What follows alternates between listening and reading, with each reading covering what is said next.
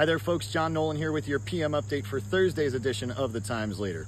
John Fetterman's campaign for U.S. Senate on Wednesday committed to a debate with Dr. Mehmet Oz to be hosted by Nexstar Television next month. The war of words between the two campaigns about how many debates to have and when continues, however. Bill O'Boyle has those details. The North Branch Land Trust is holding a barn banquet to celebrate Pennsylvania's rich agricultural heritage and commitment to conservation. Ryan Evans has that story.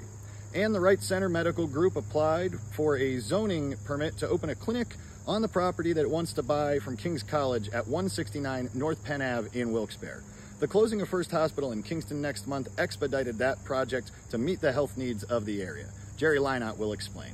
Remember, folks, if you're not already a subscriber, call 570-829-5000 or visit timesleader.com slash subscribe. Thanks for watching and have a great day.